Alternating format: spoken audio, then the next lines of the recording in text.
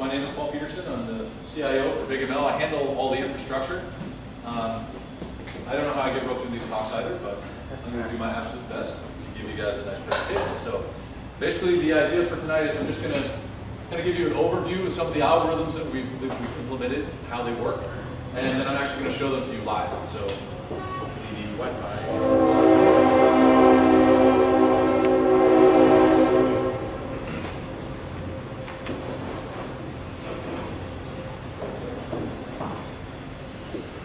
All right, so before we really get started, let me, uh, and I, I was told there was a mixture in the audience of people that were, you know, like super professional with machine learning and people that are just kind of coming into it.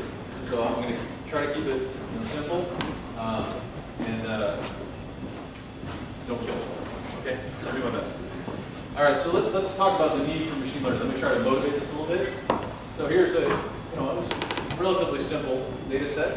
We've got perhaps some features that describe you know, customers in a uh, imaginary telecom company. And, uh, and then we have known value where those customers eventually left the phone service. And you know, if somebody came to you with data and said, look, I need to know, all right, based on this data, I need to know which customers are going to leave next month. I want to look at the data, and I want to know who's going to leave. All right? So, I mean, just looking at it, any savants in here? all right. Uh, so this is, you know, a relatively simple problem, uh, but there's there's just too too much dimensionality going on for us with our brains to look at it and just have an answer right away. All right? But and, and I know some of you probably have tools already installed. You know, maybe you've got R or something, and and that's fair. You could easily solve this with, within R. Uh, but in order to make this comparison fair, what I'd like to do is start from an empty laptop. Okay.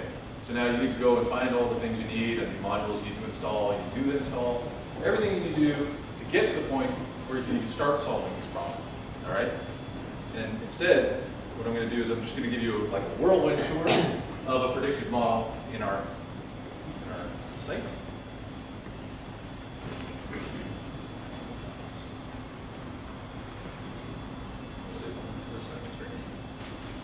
All right, so I actually have this file here. All I'm going to do is drag and drop it. All right, so I've just uploaded this mini churn file. Take a quick peek. Nothing too interesting. I'm going to go through the interface a little slower later. I'm just going to get right into this one-click model. Uh, and there we go. All right, so this, this decision tree is basically giving us a nice model based on that data of the customers are going to churn. So we can see, for example, this little branch here is showing us the customers are texting or sending more than 69 text messages are, uh, are likely to churn we get a nice confidence for that. Okay, now, so I, I, made the comparison to R. Why was I doing that? Now, this is just all running in a uh, website, right? All you need is an email address to sign up, uh, upload your file, click two buttons, and you have a predictive model. So that, that's sort of the emphasis of what we're trying to deliver the big analysis experience where it's very easy to get started and it's very, very easy to get results. Let's come back. So, now, of course, the problem is, this is a relatively simple problem still. Imagine if there's now maybe thousands or hundreds of thousands of features or millions of instances, right? Or maybe there's mixed data types. I mean, that just had numeric fields and the one categorical. Um, so what if you also have date time fields? Right, these could be interesting. If I give you a timestamp, you might want to be able to look for patterns that are the year, the month, the day of month, etc. Uh, or worse yet, what if you have some nice unstructured text? Right, you just got an HR application and there's the job, you know, the person's cover letter. You can mine that. There might be something interesting in there. But that's, you know, do you want to pre-process that? I mean, how are you going to pre-process it? What, what is the, how do you approach these text fields? And then once you understand how to approach text fields, how do you bring this all together and make a predictive model out of some data and has it all in there, right?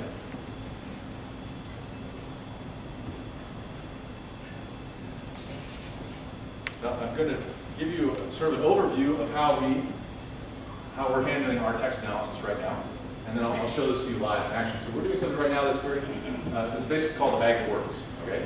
This is just one way you can do text analysis, uh, but it turns out to be quite useful. So the basic idea is you start with some unstructured text, All right, and the, the very first thing you do is kind of stem all these words. All right, so great, you know, and greatness are kind of the same word. So it would be greatly or grateful or anything. They're all great. Okay, you stem those down into just that one token, great. And then you take out all these other things that just aren't very useful because they occur so often. You know, be, of, are, have. They occur too often. They're going to be in every single text field, so they won't give you any predictive power.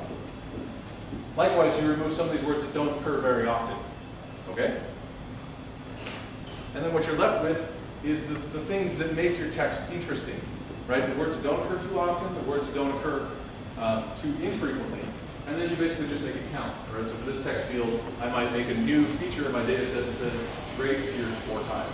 And this now becomes a feature that the modeling engine can learn from. Okay? When it sees a new instance with a text field that has great four times, it's a pattern that it can discern that may have meaning. And then you do this, of course, thousands of times.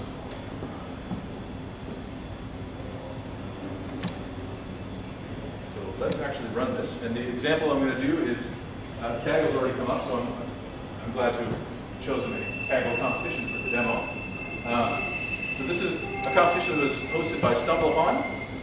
And just real briefly, in case you guys haven't seen this, basically what they're providing is a data set with uh, uh, parameterized websites, right? So you've got what kind of website it is, sports or whatever. You've got like number of spelling errors, link ratio, all this kind of ways that you could describe a website, all right, and features. And then you're supposed to build a classifier that tells you whether or not that website is what they call evergreen. Okay, and evergreen, the idea is it has a temporal significance. Okay, so you know, the Wikipedia article on platypus is still going to be relevant in 10 years, whereas the weather for tomorrow is not. So that's, that's what you're trying to build for a classifier. All right? And I, I did promise I'd go a, a, little slower through the interface, so let me do that on this run. Well, what I'm going to do is direct upload this file. So this, this first part, the interface, the source, this is where you bring your data in, all right? So I'm just direct uploading, but you can also bring files in from S3 buckets or HTTP links. Uh, we actually have an integration, it's not shown here right now, but you can pull files from Dropbox as well. This allows you to do nice cloud-to-cloud -cloud transfer to get the data in. Once the data is in, we, we take a quick peek, and we try to figure out what all these field types are for you automatically. So you can see, for example, the URL we checked as a text field, uh, the URL ID came up as an integer, uh, and then we have this field called the boilerplate, and this, this is actually, what this is, it's actually a structured text, but it has unstructured text in it. So it's a little JSON document that has keys like title and body, all right? And then the value for those keys is the actual title and the entire content of the website. These, these fields are just being hidden. You're not seeing the whole field as it is. So this, this field has the entire content of the website. And then again, we have these categorical fields like what type of website it is, how well that ranking is assigned, um, spelling error, and so forth. Right? And if you needed to override any of these types, of course, you could do that. So the, the next step is to create a data set. This is actually the first time that we, we scan the entire file. All right, and we basically build this nice summary view for you. So it's just computing histograms. Uh, for any of these categorical fields, you know, you just have a nice distribution. For any of the numeric fields, we'll give you the traditional univariate analysis, so you can get an idea of how your data is distributed there. And then for the text field, we also give you a tag file.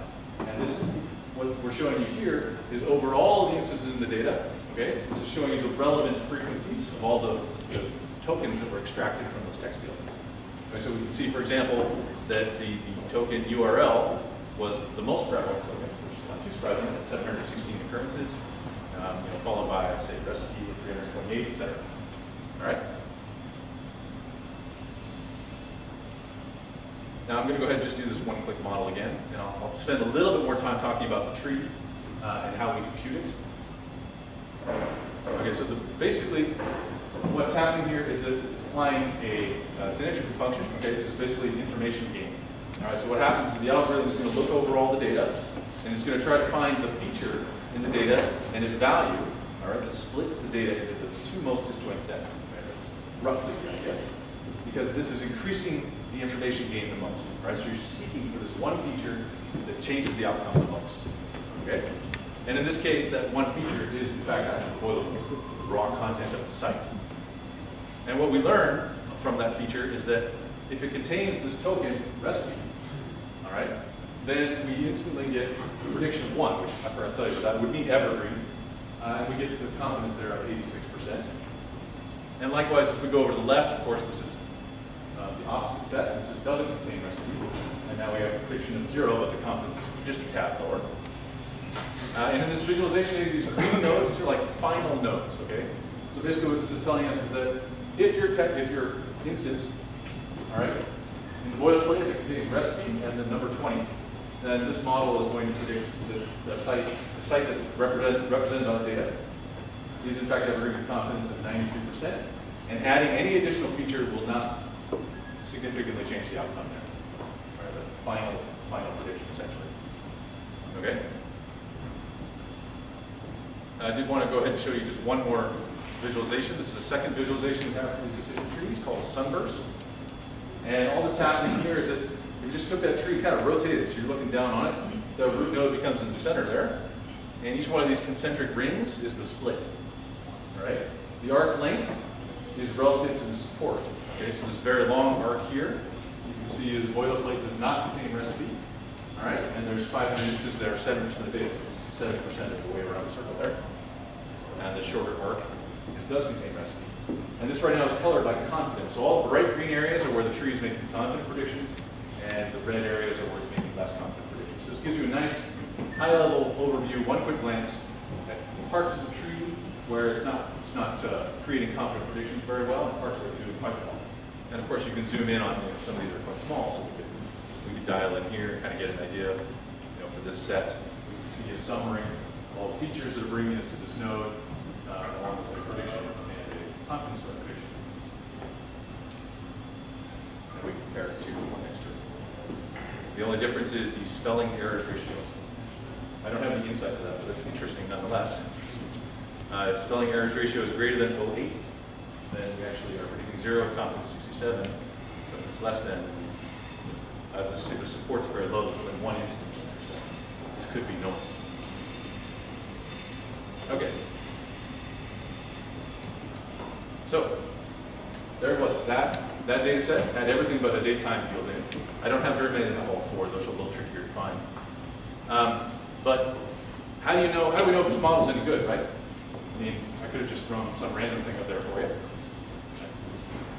Take my word for it. Boilerplate. It's got a recipe in it. It's great. Uh, so one traditional way to do an evaluation to know whether or not the predictive model is performing well is to start with your data set, okay, and turn it into two new disjoint data sets. So we're going to build a training set and a test set. And the idea here is that when we build a model, we build it just on the training set. All right. So this model never saw any of those instances. No idea about it. Okay. And then we're going to use this test set and run it through the model to create Now the thing about the test set is that that's labeled data. It's got the known values in it. So we can compare those with the predictions and we can see how well we're doing. Now this is, you know, it's statistical. So every time you run this, the results might be slightly different. So you could run this multiple. But in general, this is a pretty safe way to judge how well this model is doing. It should be at least easy, easy to tell if you're getting total you know, garbage out of any signal or noise. So I'm going to show you a quick example of that. So we'll come back to our original data set here. And you can actually, you can manually split this, but I'm just going to do this what we call our one-click training test, which is an 80-20. And if we come back out to the data set, you can see there's three data sets now, right? The original, two new ones, one 80%, one 20%. I'm going to build my model off of the 80%.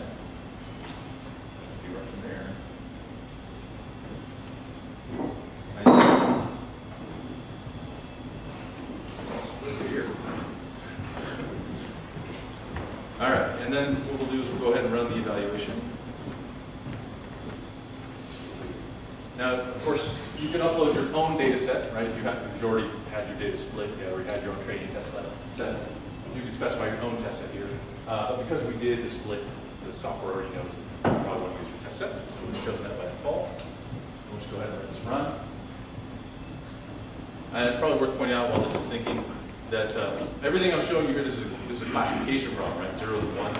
These trees will do regression as well. Right? So they're classification and regression trees. Uh, so you can predict numeric output. All right, so the output of this is we give you these you know, five sort of traditional metrics for a classification problem. The accuracy, this is sort of what you might expect if you're in school, you're taking a test, you get your score back, as your accuracy, right? And then you have the precision and recall, which are more focused on just the two positives. And then this F measure and phi, which are sort of a balanced version of uh, precision and recall. And uh, that's, that's great, 71%. What on earth do you do with that? That sort of depends what you're trying to do, unfortunately. There's no real great answer. I mean, what is a good accuracy? In fact, there's all kinds of situations where there's something that looks like great accuracy, but in fact the model is terrible. Uh, and there's situations where you have terrible accuracy, but in fact the model is great. Uh, what on earth am I talking about? Okay. So imagine, if you will, that you're doing a fraud detection. Okay? And maybe fraud isn't very prevalent. Let's hope. Uh, so maybe you've got a data that's got 100 instances, 99 of them are not fraud, and just one is fraud. Just one. All right, if I build you a model that just always says not fraud, not fraud, it'll be 99% accurate. Right. But it doesn't do us any good because the thing we're really interested in in that case is the one fraud. Right? We really, really want to find the one fraud. Even if it means we mark a few of the non-fraud ones as fraud. Okay? We don't we don't mind, you know, annoying a few customers, but we don't want to lose the bad guy. Right, so that would be an example where high accuracy doesn't necessarily mean that your model is good. So other ways you can use this, so one, that's like a business case. You have to understand what it is you're trying to predict and what's important to you. All right, that's something you can also get out of the confusion matrix we provide, where you can actually see a breakdown. I'll scroll it back up. So you can actually see a breakdown in this chart of you know, when we predict a zero, when actually is a zero, when actual counts. All right, so if, the, uh, if the true predictions are more important to you than false predictions, you can actually see the exact breakdown of this tree, or how the model um, we also provide these two sort of basic metrics, which you can compare against, which are the mode and the random. All right, and the idea here is that mode is sort of what I was describing before. You just take that biggest class, like the philology, and just say 99%. That would be the mode. So in some cases, it's important that you're doing better than that. You have a nice balanced class like this, or random, or you're just basically just flipping a coin, right? So you generally like to see that you're doing better than those two. That tells you you're finding some signal in your data that you're actually learning something useful about your data. But of course, the other way that you can use this, once you have an idea of which metric is important to you, is you now go back and change your model, right? Maybe there's some features in here that aren't important. They're just adding noise to this data set. Uh, maybe there's anomalies in it. You know, there, there could be lots of things wrong with your data set that need to be cleaned up. And then once you return your model, you evaluate it again, and you hope your score better. So one way that we uh, help you with that is the model summary. And this is actually sort of a nice, a nice feature of trees. All right, so what, what's happening in this model summary, for you, but so this is this is actually what happens is we look over the entire tree and we find out how much each feature at each node is contributing to reducing the error, right? So you add a little bit of data, maybe the error goes down, maybe the error goes up. And you add that up over the entire tree, and then you just do a nice weighting for it, and then you you can see how much each of these features is contributing to reducing error. Right, so you can see that the boilerplate is extremely strong signal in this data set, uh, followed by the image ratio, and then the rest of these are pretty, pretty low, right? Pretty low. Uh, and some of these may not even be helping. Uh, so you can go back and maybe take a couple of these out, run this again, see if it's better. Uh, other situations, maybe maybe you got out of the internet, you had this crazy idea to predict the stock market, you know, by combining security form fours and something from Quandl. Uh, but maybe you discover that the stuff you're pulling from the SEC site, uh, could be something else in Australia, I don't know, sorry, uh, is really, really hard to get, okay? But it's really only adding this little tiny bit of information. So you just stop collecting it. It's not helping anyways. So you can stop doing that. No, no need.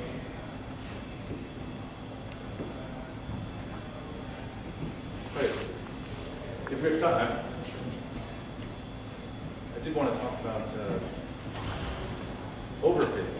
Is anybody uh, familiar with the concept of overfitting already? A couple of hands. Oh, many more. Okay, okay. Um, I'll do a very, very simple demonstration, and then, and then I'll show you on the StumbleUpon. Okay, so basically, the idea with this overfitting, right, is that we're building this one tree. It's going through the data. It's trying to account for everything's in there by making these splits. Uh, but sometimes you wish it wouldn't, right? Because you want the model to generalize nicely. Uh, it doesn't help you if it's splitting all the time. So we're going to look at an extremely simple uh, example. So here we just have this really tiny data set. It's only a couple instances. And basically all we're doing is we're taking a measurement of a fruit in centimeters and then a label, what kind of fruit it is, right? So we have this three centimeter plum, four centimeter, these are all plums, and then we have a five centimeter apple. Yeah. But then there's this crazy six centimeter plum sitting there. Okay, and then everything bigger apple again. Okay, so we know just looking at this data that this, this plum is an outlier. right? I mean, if you're just looking at this, you kind of want your model to say, know, everything, everything five or four below is plum, right? I mean, that's what you'd like to say. Everything five above is apples. But will it do that? Because you have this one weird plum. Nobody's ever seen one big, except you. All right, so what will happen? Let's do it.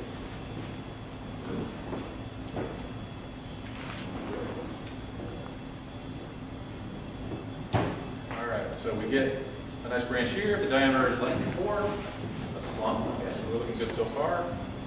If the diameter is greater than six, it's an apple. So what happens when it's less than or equal to six? Uh, we end up with apple at less than five, and greater than five is plum. Right, so basically it's overfitting. It's looking at the data, it's putting this last slit in here. I kind of wish it wouldn't add that one. Just like that one to go away. Okay, well in this particular case, we know that data point, we, we wanted an outlier, we can just take it out. Right? This is a really small set. Okay, imagine, you have to imagine you got gig of data, hundreds of thousands of features, millions of rows. Which ones are anomalous? I'll get to that later, but in, you know, so don't discount the example just because it would be so easy to remove it. Just one. Okay, so how, how can we address this just with a modeling algorithm? So the idea is, let's not build one, let's not build one tree, let's build a bunch. Okay? So instead of building one, we'll take a subset of data, and we'll build a tree with that. Uh, but then we've left some data out, that doesn't seem fair. We include all the data. So we'll do it again. We'll take a different subset, build another tree. Different subset, another tree. And if we keep sampling like that, by and large, we will treat all the data fairly, right? But that one outlier won't have made it into every tree. So some of the trees are going to overfit, and some will do what we expect them to do. And then we'll just take a, when we want to make a prediction, we'll make all the trees predict, combine prediction. So should just take this same data set. Let's do exactly that. So instead of a single model, we figure what's called an ensemble. And what I just described is what we're going to do. Is it's called bagging. Okay, we're just taking random subsets. Um, we do also support random decision forests. Okay, and the difference here is that you, you actually choose the features randomly each node as well. So before you make a split, instead of considering all the features, you just choose a random subset. Uh, that's useful when you have much more complicated much more wide data with more features. This is too small. Too small that. Uh, but of course, you can also choose the number of models. The default is 10 we go from two to a thousand or so. But let's just go ahead and let this run.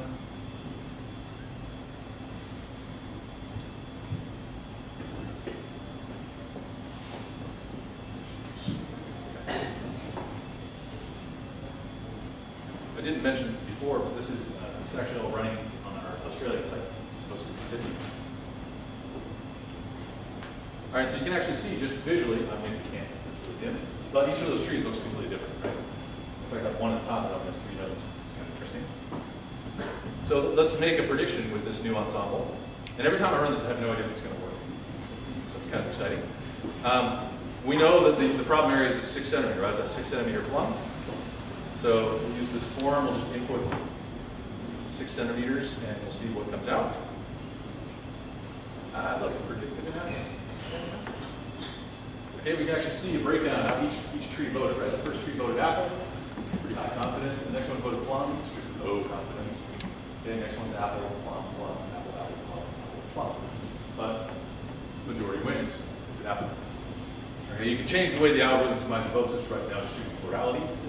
Um, there's different ways you can do this. You can also weight it by confidence, for example. So you can give these trees a higher confidence, a little more weight. Final outcome, which is generally useful.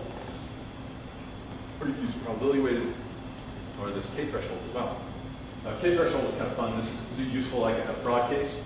You could uh, build an ensemble and say, look, I only want to call it not fraud if uh, 9 out of 10 of these trees all agree. It's got to be 90% of the trees. So you can actually constrain the number of trees that have to agree. Of nice artificial constraints. All right, so this, so far, this has all been supervised learning. It's all predictive analytics.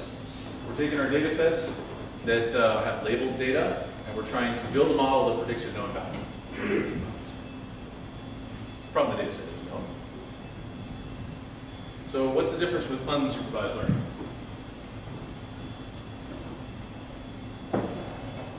One particular type of unsupervised learning algorithm, which is very low on the screen, sorry, uh, is called clustering. Okay, so the idea here is that in the supervised learning case, you're providing labeled data and you're trying to predict the label, right? In the unsupervised learning, you start with unlabeled data, and your learning task is to sort of find patterns in the data that make the points look similar, right? You want to group them all together. That's the idea. And you could, you could, so what do you do this for? Well, you know, maybe this is a customer segmentation problem. You know you've got this sort of this different customer segments, and you know they should be similar, so you can just apply a clustering algorithm and see if you can group them together naturally by the data.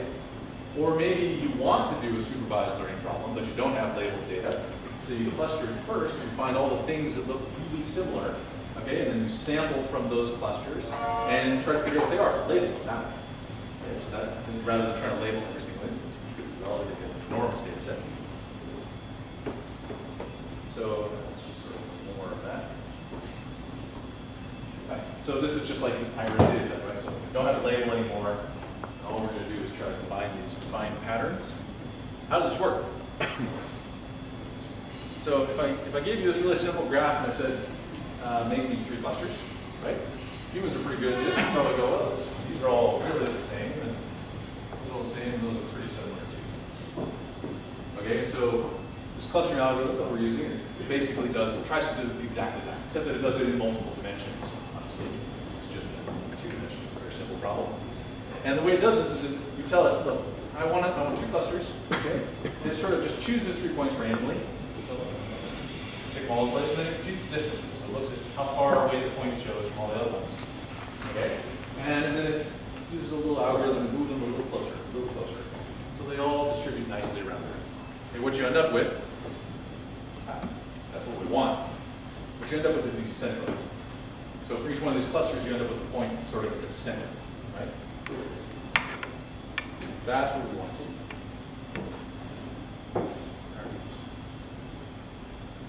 So to do this, I am going to use a different data set.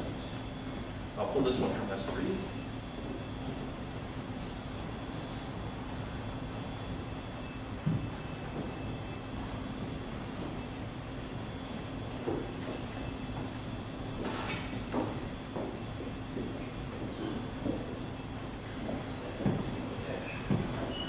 All right, so this is a data set of whiskey flavor profiles. So the, the idea here is we've got all these kinds of distilleries, and we have these measurements, uh, score of 0 to 5. So this particular whiskey here has a score of 2 in the body, sweetness of 2, smoking 2, medicinal 0, okay, et cetera. Uh, and the, the learning task that we want to do here is we kind of want to group these together into similar flavor profiles.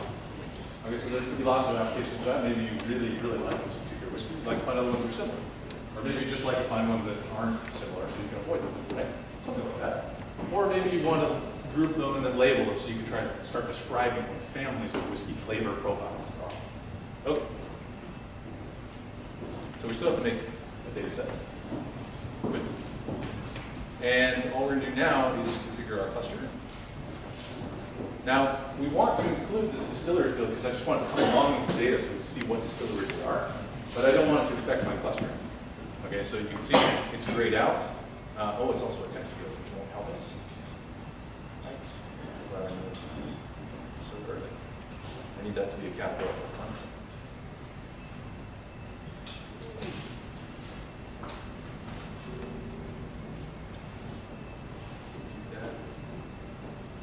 All right, so I want to bring this distillery along, but I don't want it to affect the clustering algorithm, so I'm going to add it as what we call a summary field. There we go.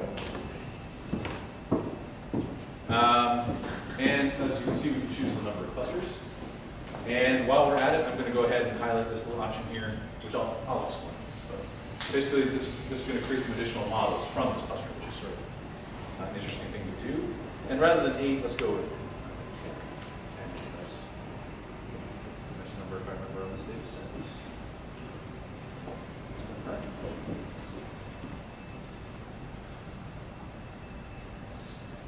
All right, so now, this, this visualization, each one of these little balls here actually represents each one of the clusters we found, 10 clusters. Uh, one's uh, way out there. And uh, the size is relative to the number of instances that are in each one. Okay, so this one that's in the center has uh, 14 instances in it. It's named cluster 4. And over here, this is the information regarding the centroid. Okay, so you know for that cluster, all those points are distributed around the centroid. This is this is the middle of the centroid, and you can see the characteristics here. So this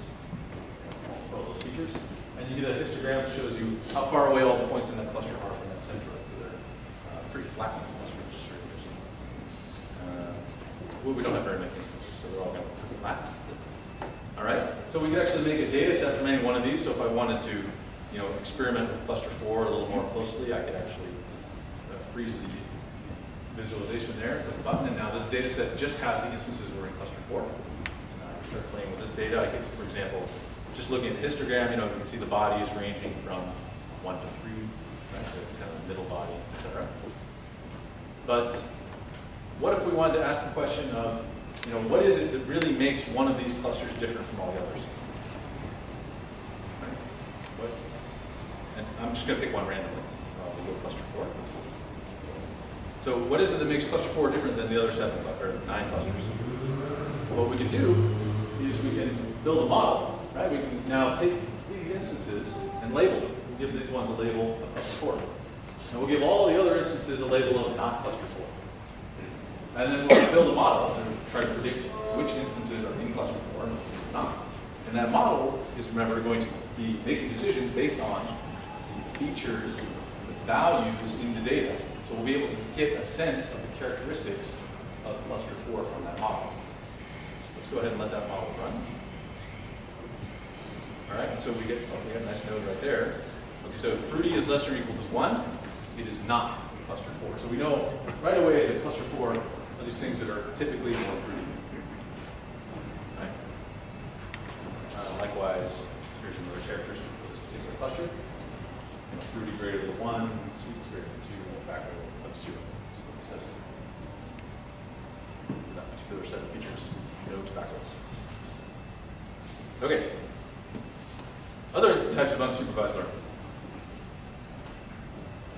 Anomaly detection. And um, well, let me come back to that. So these are both unsupervised learning algorithms.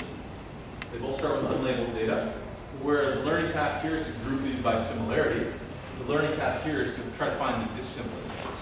Right? You want to look at each, sort of like looking at each point by itself and saying, how much like all the rest of the data set are you? And give it a score. All right? So it's sort of a complementary task, if you will. Okay, so how does this work? This is, we're using something called an isolation forest. Uh, and this is actually an algorithm we've implemented based on research that was done at uh, Monash University. But the basic idea is to uh, grow a random decision tree until each instance is in its own leaf. Right, so just, just grow this tree randomly until you separate the data as much as you can. Okay. The points that are way down here, it took lots of decisions to separate. So those are hard to get by themselves, hard to isolate. the points that are way up here, it only took two features, and then it was off by itself. Those are easy to isolate, right? So the ones that are easy to isolate, those are probably anomalous. Now, there's one or two features that make them really different, stand out. That's not quite good enough you just build one tree. So in typical statistics fashion, uh, we'll do it a bunch, okay? And each time we do it, we'll note the depth of the instance. We'll find where, where it came up. And then average that all together right? And take that distance average and combine it all into a nice score, zero meaning normal, and one meaning completely anomalous.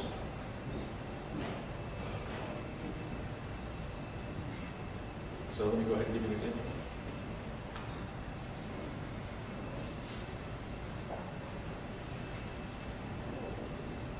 So for this example, I'm going to use the uh,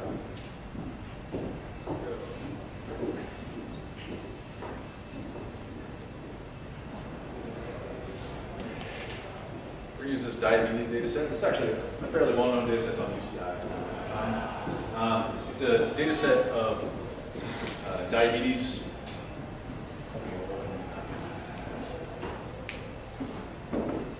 This is a uh, data set measure diagnostic measurements. We have like pregnancy, plasma glucose, blood pressure. All these things that are very easy to measure. And then a doctor that you know, made a final determination whether that patient had diabetes. Okay. And if you were doing like a supervisor or we're trying to model this, you might, you might be asking the question, you know, can we predict diabetes from these very simple measurements? That would be that would be a learning task you might use this data set for. Uh, but before we try to do that, we're just going to see, are there any points in this data that stand out? Anything that's anomalous? All right, so let's go ahead and make this.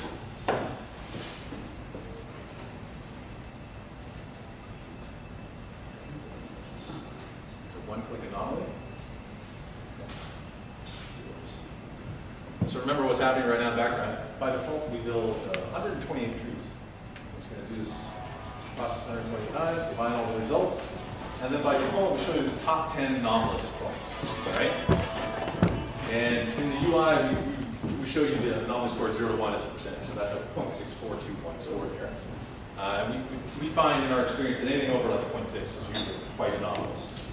So that, that data point is really kind of standing out in this data set. And why is that? Well, on the right-hand side over here, these are the, the actual values. Oh, sorry. These are the actual values for that particular data point, and then the distribution of the values for that particular feature. So we see this data point has a diabetes pedigree of 2.3, which is a sort of the far end of this. That's probably never a good sign if you want your point to be truly normal. Uh, similar the insulin, 7.4, it's, way out here, far of this again. All right, and the plasma glucose, 197, again, way out on the tail end of this distribution. And then this fourth feature here, we have this the diabetes field, right? And you know, it's it sort of matches our intuition if you have a lot of history of diabetes in your family, you have high insulin, you have high glucose. These are strong indicators for diabetes. And yet this patient is in fact false. All right, and that, that is very likely what is making this data point stand out as an anomaly in this data set. You've got a strong signal for one outcome, yet it's labeled different. Now there could be lots of reasons for this. Could, that person could really be it. Maybe somebody made a mistake entering this data. All right, but if you were starting to analyze this data, you might look at that data point and go, all right, where did we collect that one? We're going to check the form, make sure that's right. Okay, that's a little strange. Um, in this particular data set, if you take it out, then build a single tree, the performance when you evaluate it goes up, uh, depending on the split, by nearly a percentage point, just by removing those top two points there, uh, 760 and so on. And I, I can actually show you that. We go very quickly.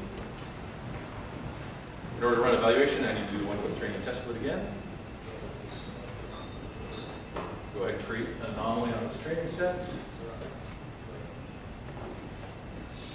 I want to make a data set and take those anomalous points out. Hopefully I get a good split.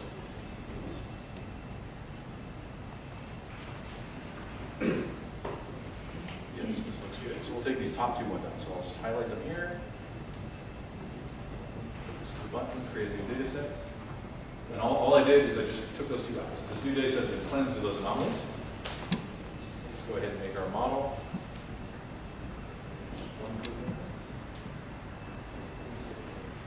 While that's running, we'll come back to the training set. Same training set, but this time I'll just one-click model without removing the anomalies. We'll evaluate this one.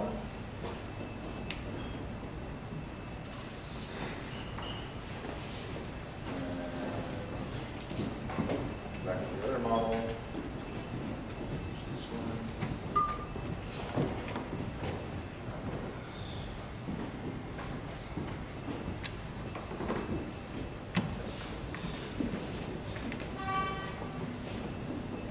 Okay. And let's compare this here. I know I'm going a little fast. Ah, interesting. Okay, so on the left-hand side, this is the uh, this is the model, the single model we trained with two anomalies removed, and this is one with the two anomalies in it. You can see that the uh, performance is quite different by removing these two data points uh, that we detected with the anomaly detector.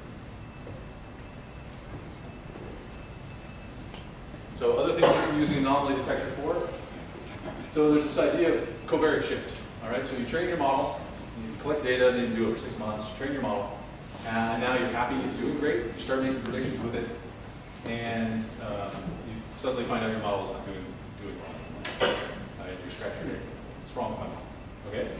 Uh, and basically, the, the problem is that the data you trained it on has a certain distribution, right? Maybe it's people of a certain age, maybe you had time data, and it was all for the spring or something. And the distribution of the data you're predicting with is completely different, right? Maybe all your data was from spring, and you're making predictions from summer. Okay, so your model sort of lost its relevance, okay? The distribution is shifting. So one way you can use an anomaly detector is you kind of use it in parallel with your model. Right, so you build your model, you build your anomaly detector at the same time. Now every time before you make a prediction, you run it through the anomaly detector. Okay, and if it tells you the point you want, the data you want to predict from is anomalous from the training data, then you sort of have this idea of whether or not your model will have any competence. All right, there's no guarantee, but it's at least a strong indicator. If it comes back and says that data is completely normal, you know it matches your training data, and your model is more than likely competent. Of course, there are other ways to solve this problem as well, but this is a nice, easy one to do in parallel from your training set. All right, so I'm going to stop here. If, if you guys ever needed an excuse to go to Spain, there you go.